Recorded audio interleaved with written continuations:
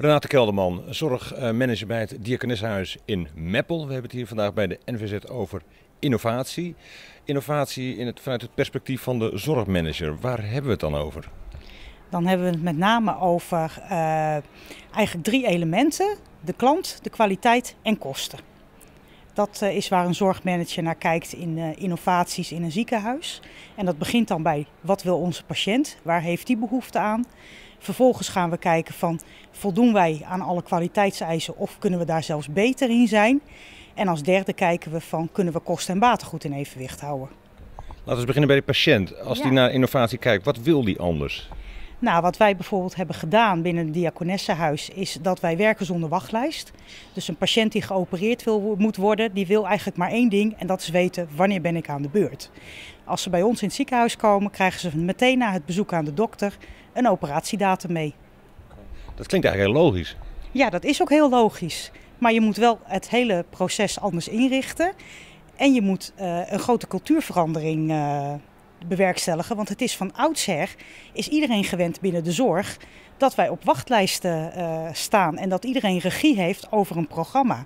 En op het moment dat je patiënten uh, meteen een datum gaat meegeven, dan uh, leveren een aantal mensen een stukje regie in. En dat is wat, wat het soms lastig maakt. En moet je dan veel praten om dat soort, laten we zeggen, hindernissen te overwinnen? Nou, wat heel belangrijk is, is dat je eerst een stip op de horizon zet. En dat je mensen gaat uitleggen, bijvoorbeeld, wat zorglogistiek is. En wat ze daar aan te winnen hebben. Het, het, meest makkelijke gaat een verandering als er voor iedereen een win-win situatie uh, in zit. En uh, als je die stip hebt en je gaat dat uitleggen aan mensen, dan weet iedereen van nou oké, die kant gaat het op. En dan moet je wel veel praten op het moment dat je het uh, gaat implementeren. Ja. Nu zal jullie raad van bestuur denken, nou dat is mooi dat die patiënt tevreden is dat wij geen wachtlijst hebben, maar wat levert het op? Nou, wij hebben het hele uh, opnameproces anders ingericht. Dus wij screenen ook de patiënten twee weken voor de operatiedatum. En wij hebben een opnamecentrum operatieafdeling. Dat betekent dat patiënten bij ons niet meer in de kliniek worden opgenomen. Maar van tevoren in een comfortabele wachtruimte komen bij de operatiekamer. En pas na operatie naar de kliniek gaan. En dat betekent dat we minder bedden nodig hebben. Want we hoeven niet de dag tevoren al bedden vrij te houden voor de dag daarna.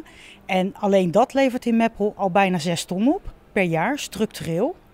En het hele organisatie van het lean maken van het opnameproces, ja, dat levert heel veel op, waarvan een aantal dingen heel kwantificeerbaar zijn. Zoals bijvoorbeeld, we werken met twee FTE minder op al die diverse afdelingjes door ze bij elkaar uh, te, te, plaatsen.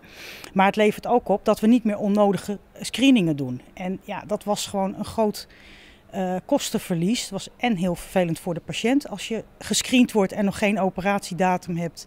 En je krijgt uiteindelijk een operatiedatum en je moet dan weer opnieuw.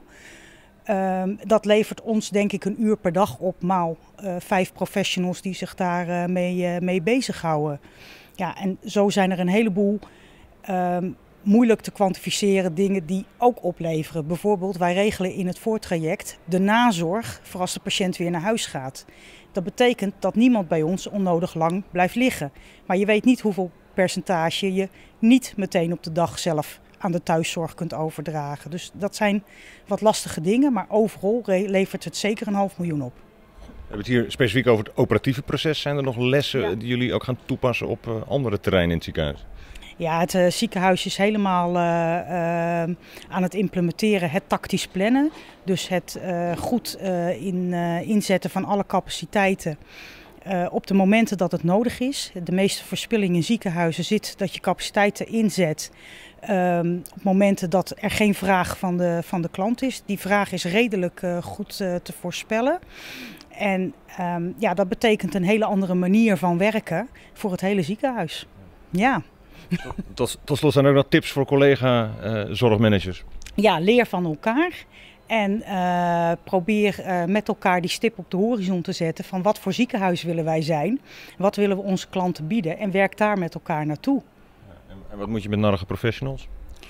Uh, veel mee praten en uiteindelijk ja, de meerderheid beslist. Zo gaat het vaak ook nog in een, in een ziekenhuis. En dat betekent dat ja, op een bepaald moment ook niet al te veel aandacht meer aan besteden, denk ik. Maar gewoon doorgaan. En ja, wat wij in de praktijk zien, is dat mensen uiteindelijk allemaal enthousiast zijn. Omdat ze merken dat die patiënt er ook wel bij vaart. Ja, we hebben een enquête ook gehouden over de, onder de patiënten en die zijn super tevreden. Nou, dat maakt dat de professionals ook al gauw uh, tevreden zijn.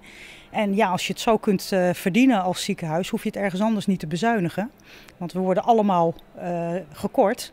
En dat betekent dan dat je gewoon voor andere dingen wel geld hebt.